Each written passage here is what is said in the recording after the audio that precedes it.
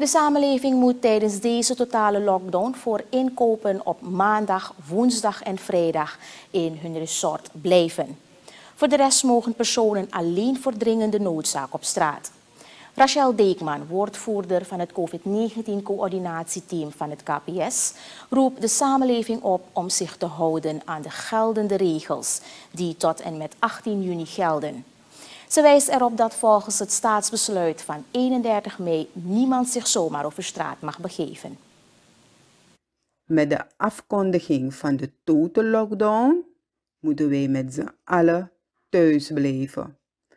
Anders dan voor dringend noodzakelijke werkzaamheden, zoals het kopen van goederen voor levensonderhoud, voor medische redenen of voor het verrichten van essentiële werkzaamheden. Het kopen van goederen voor levensonderhoud kan tot uiterlijk 4 uur in de middag.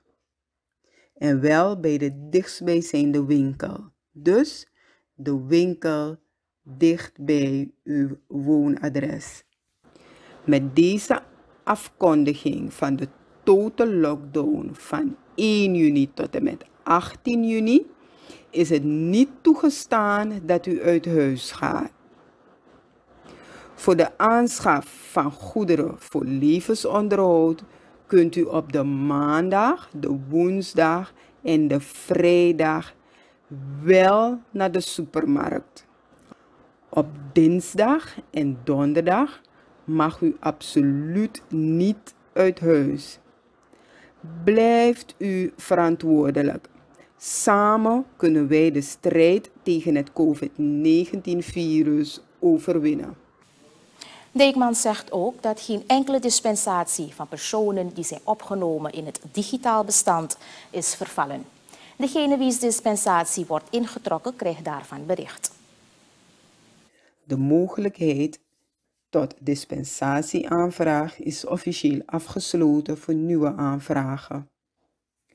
Aanvragen in spoedgevallen kunnen nog altijd op de volgende nummers 815 1555 of 841 3535.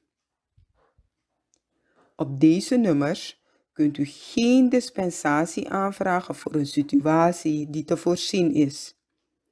Bij acute medische gevallen of onvoorziene economische belangen kunt u wel gebruik maken van deze nummers.